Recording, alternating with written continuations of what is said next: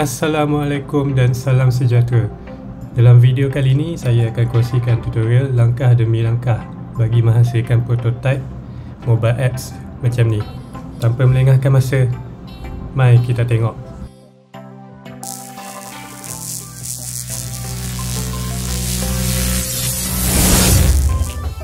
Okey, perkara pertama sekali sebelum kita memulakan UI design, kita perlu hasilkan wireframes terlebih dahulu. Okey, mula-mula hasilkan satu artboard, tekan A, shortcut key dia huruf A. Lepas tu akan keluar option macam ni, kita akan pilih iPhone 12 Pro. Okey, dah keluar macam ni. Kemudian kita akan buat garis panduan jarak selamat untuk design ni. Okey, atas ni kita akan buat 32, kiri dan kanan adalah 24. Okey, 24 di kiri dan 24 di sebelah kanan.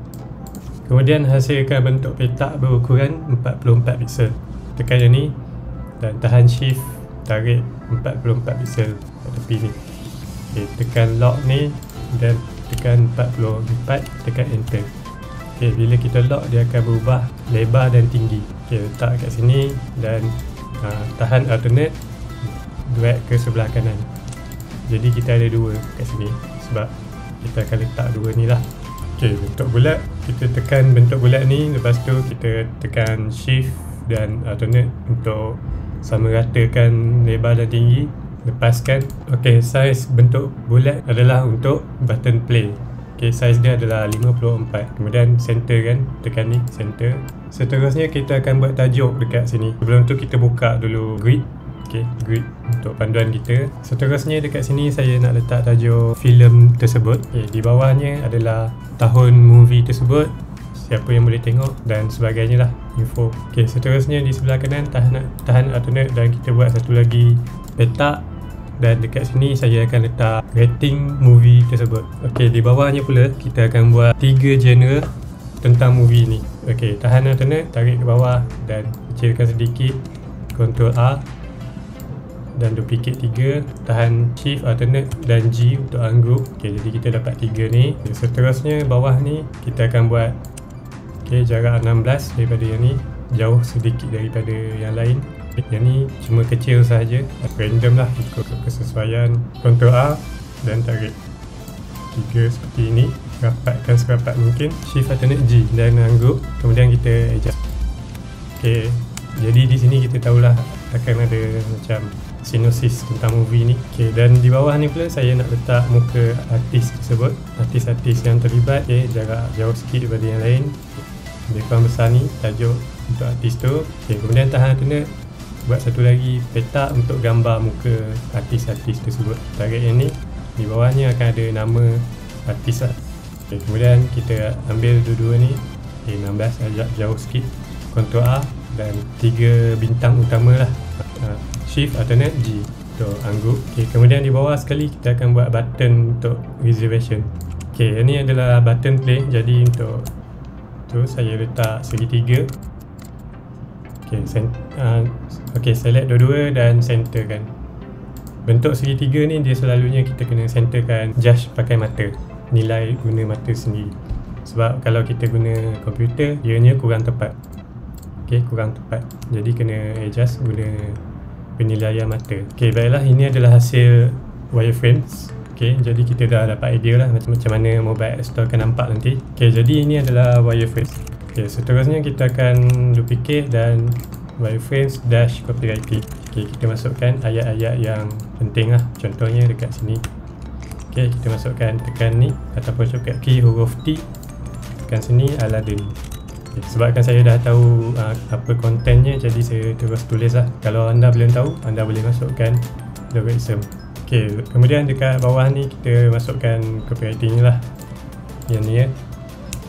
Yang ni ok kemudian bila dah masuk anda delete lah. Ok yang ni adalah size nya 40 semi bold di semula dah letak 6.9 dia punya rating untuk movie ni. Okay, kemudian kita tarik ke tepi Okay, guideline ni penting supaya kita tak terkeluar daripada garisan ni lah.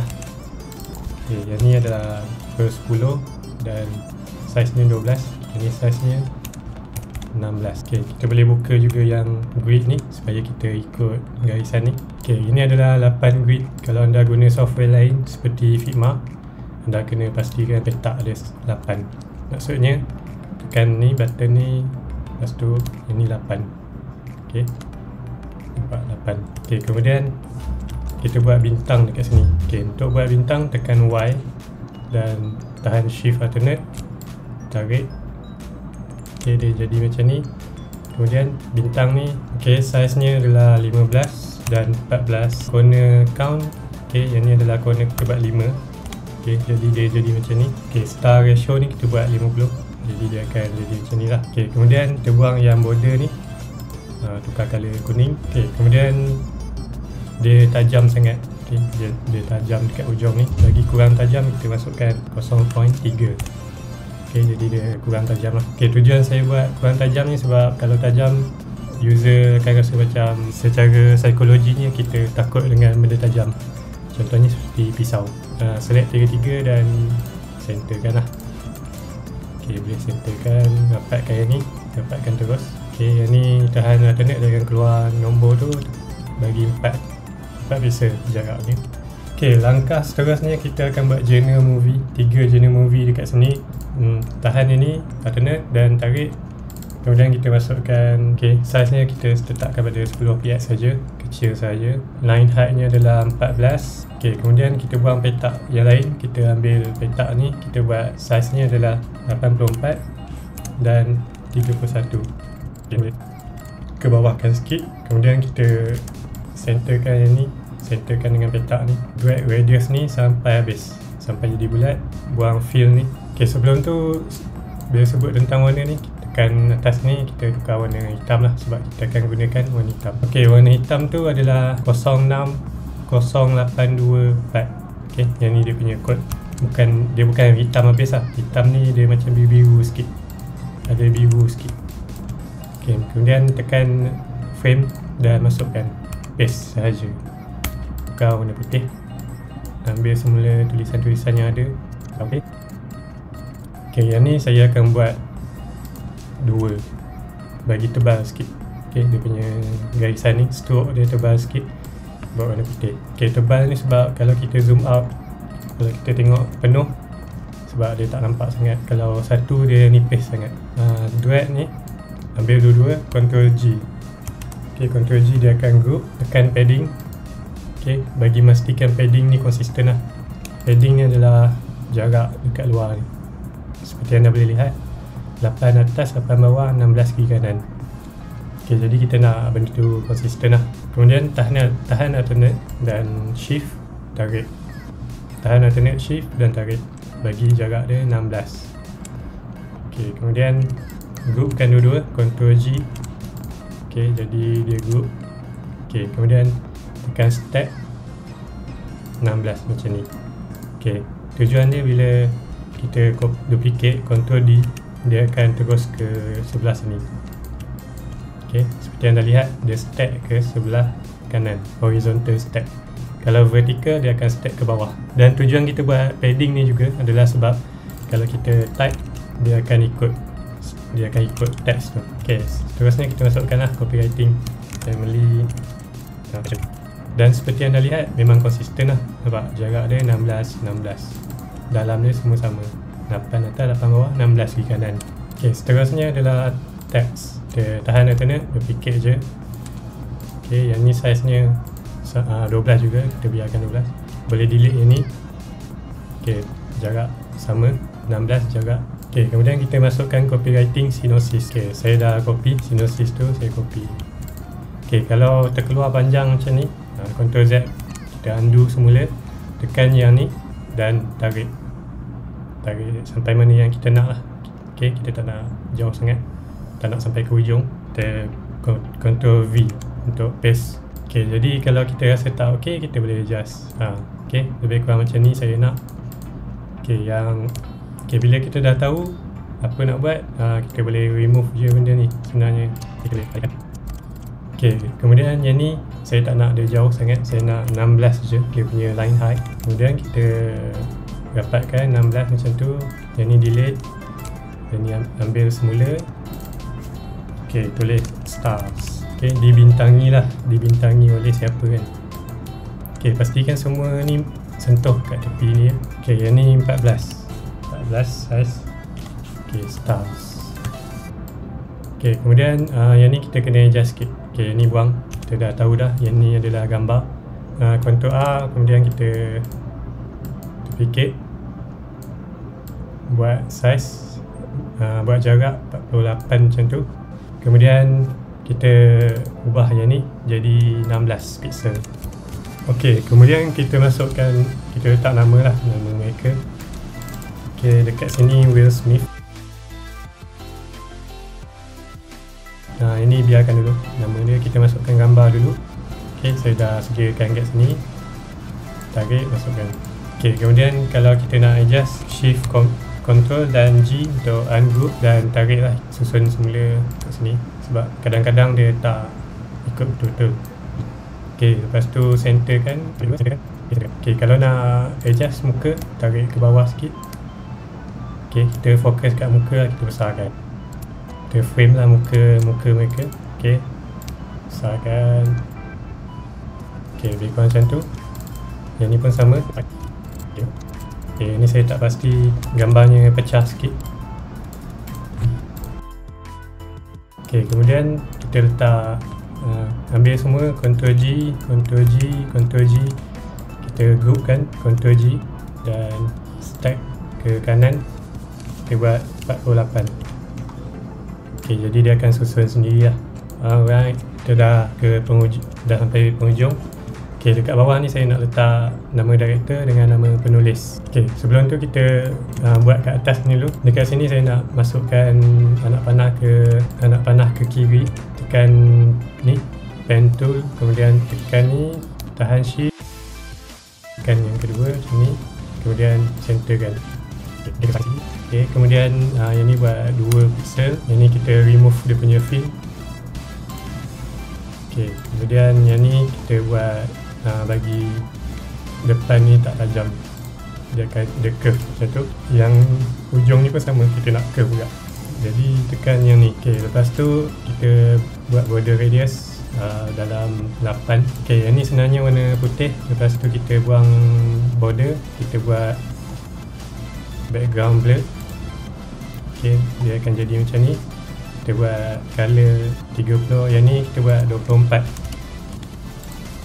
ok 24 maknanya dia kat ikut 24% warna putih ni lah. Kalau yang ni dia kosong dia tak ada color langsung. Kalau penuh dia putih terus. Okay. jadi kita nak 24% je dia punya opacity. Okay. jadi dah settle yang ni. Seterusnya kita buat ambil semula je yang ni. Dan alternate shift tarik copy ke sini padam yang ni. Yang ni kita nak buat left okay. left pun sama juga. Kita boleh guna huruf Y tahan shift alternate dan tarik dia akan hasilkan segitiga. Ha, tapi tweak dia dekat sini kita buat macam anak panah ke kiri ni. Lepas tu tiga. Dia akan automatic jadi left lepas tu kita besarkan. Kita buat dua. Buat warna putih. Hilangkan yang dia punya fill ok kemudian kita centerkan ok centerkan centerkan ok jadi dah settle. Kalau nak preview tekan ni tekan uh, control enter. Kita dah nampak lah dia punya hasil. Sampai nak siap lah ok kemudian kita masukkan uh, gambar. Okay, gambar untuk movie ni lah. Sebelum tu kita adjust dulu yang ni. Buat sama juga macam yang ni. Okay, mungkin boleh cuba copy face appearance. Ha, dia terus jadilah ikut sama kan macam ini okay, sebelum tu kita masukkan gambar dulu okay, jadi ni adalah gambarnya. Kita tarik masukkan okay, pergi dekat sini dan kita drag bawah sekali. Okay, jadi dia akan duduk bawah sekali antara semua lah okay, kemudian kita ambil bentuk petak ni dan tarik dekat dari atas ni sampai dekat sini lah okay, sebab gambar ni dia sampai ikut sini kan. So kita ikut gambar tu punya size. Okay, kemudian kita buat linear bawah. Okay, yang bawah ni kita ambil color background ni. Yang atas kita ambil color background juga. Tapi kita buat 15% so dah macam ni kita tarik ni ke bawah. Kalau bawah sekali dia duduk belakang gambar. So kita atas gambar ni. So dah siap kita control L untuk lock supaya kita tak tertarik. Gambar belakang ni pun sama control L ok jadi yang ni saya nak buang dia punya border. Kemudian yang ni saya nak gelapkan sikit. Ok kita buat uh, negatif 24 yang ni saya nak buat 8 uh, negatif 24 ni terang gelap je lah. Ok negatif 24 lagi gelap sikit sebab saya tak nak sebab saya tak nak sama dengan yang ni. Nak bezakan yang ni dengan yang ni. Ok tapi sebab yang ni warna putih saya nak hitamkan. Sebab hitam lepas tu yang ni 16 ok yang play button ni saya nak biru light ni tekan I ambil warna ni. Ok jadi dia dia bukan putih lah dia macam uh, light blue biru cair. Ok kita rasanya yang ni kena tarik ke bawah sikit. Kita ke bawah kan sikit sebab mengganggu yang ni. Ok yang ni saya nak tutup uh, di sini saya nak gelapkan lagi tekan yang ni. Ok yang ni 100% ok macam tu. So dia uh, tulisan ni lebih jelas lah untuk dibaca.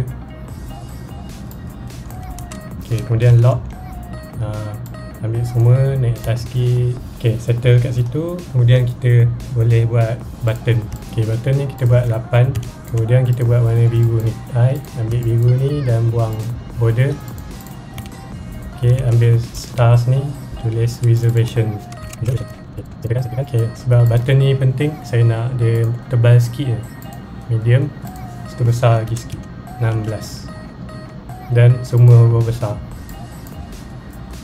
Ok center kan center ok ya, kalau nak semua huruf besar tekan ni. Capital uppercase. Ok untuk saya nak buat icon tiket kat sini. Icon tiket ok kita buat bentuk ni tak kisah macam mana pun. Ok kemudian kita buat size 20 14 ok kita zoom sikit. Ok ni size untuk tiket tu. Ok bentuk bulat. Kita buat bentuk bulat kat sini. 4 4 kecil je. Size 4 4 ok kemudian kita letak dekat sini. Dan sini. Alternate tarik dan kita akan copy dua tu. Center kan. Ok kemudian kita tekan yang ni. Ok dia jadi macam ala-ala tiket sikit lah. Ok kemudian kita masukkan bulat lagi. Tekan yang bulat ni dan masukkan untuk bulat ke sini di dalam saiz sama kat 4 okay, ataupun kita buat 3 lah. 3 ok ambil color ni kejap. Kita ambil ni dan centerkan. Ok ni kita buat 2 je kecil. Kecil saja dan jarak satu saja. Ok macam ni. Ok mungkin kena jarak sikit jarak 2 lah. Ok macam tu. Ctrl G centerkan centerkan ok kemudian yang ni kita tak nak tajam sangat kita double click dan kita buat border radius dia 2 ok jadi dah jadilah kita punya tiket. Ambil dua-dua ni tekan yang ni. Ok kenapa nak kena tekan yang ni? Sebab dia akan tembus macam tu. Kalau tak pakai yang ni dia cuma dia bukan betul-betul tembus. Ha, kalau tekan baru dia jadilah dia berlubang. Macam kita tebuk lah benda tu ok kemudian letak kat sini. Bagi jarak 16 ambil ambil dua-dua control G dan centerkan. Ok duplicate tahan alternate tarik ke bawah. Kita nak jadikan yang ni object blur. Ok jadi dia akan blur tarik sini sikit. Buka grid dan kita ikut grid lah. Ok kemudian send to back. Tarik ke bawah. Ok kemudian padam semula yang ni kita buat dalam dalam 15 ok 40 opacity dia 40 ok jadi dah siap kita punya button ni. Ok seterusnya. Ok rasanya saya nak besarkan sikit button ni. Tinggikan sikit. Ok size nya 64 tinggi dia. Ok kenapa saya besarkan? Sebab supaya pengguna mudah nak tekan lah. Sebab dekat phone kita kalau button tu besar senang nak sentuh. Ha. kalau kecil susah nak sentuh. Kena pengguna kena tekan dua kali. Ha. jadi kita nak ha, pengguna mudah untuk bila tekan je terus respon lah. Terus respon. Tak ada macam tekan tak kena ke. Ha, macam tu lah. Ok silap ha, 56 56 ok ambil shadow dengan button ni control G dan turunkan ke bawah ok ok jadi dah siap lah kita punya design. Lepas tu tarik ini kita tulis nama director. Sebelahnya adalah ok ni control shift G untuk ungroup sebab nak bagi align dengan ini yang ni writer nama penulis. Ok yang ni kita boleh pudarkan sikit dalam 80 ok bagi dia macam grey sikit ok nak pisahkan dia dengan tajuk. Ha, yang ni bukan tajuk. Yang ni pun sama. Yang ni pun kita buat dalam 60 bagi dia grey sikit. Ok kemudian nama director kita masukkan. Nama director kita pakai yang ni juga. Uh, nama writer pun sama. Guy Ritchie. Ok nama writer John August. Ok kemudian saya nak ambil semua Ctrl G dan tarik ke bawah ok macam tu. Ok kemudian saya saja buat macam ni sebab saya nak orang boleh scroll. Ok nak tunjuk canggih sikit lah. Ha, cara nak bagi scroll tekan yang ni. Vertical scrolling dan tarik bagi putus macam tu. Ok jadi bila kita play dia boleh ha, boleh macam ni lah boleh swipe. Ha, saja je. Ok itu saja uh, tutorial untuk kali ni. Video seterusnya saya akan buat halaman yang seterusnya lah. Macam tekan reservation ni kita akan boleh buat tempah tiket pilih seat pilih tarikh dan pilih tempat.